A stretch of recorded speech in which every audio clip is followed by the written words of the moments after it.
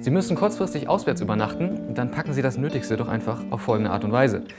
Was braucht man zunächst? Ein T-Shirt, Unterwäsche, frische Socken und Zahnbürste und Zahnpasta, oder? Als erstes legen Sie das T-Shirt vor sich her und legen die Unterwäsche etwa auf Brusthöhe auf das Shirt.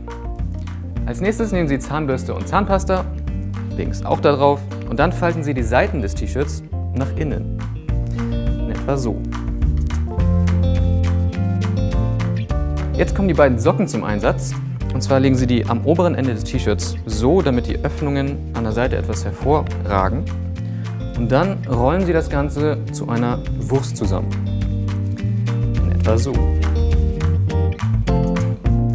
Zum Schluss stülpen Sie die Socken über die ganze Rolle an beiden Enden. Etwa so und et voilà, die Nacht kann kommen.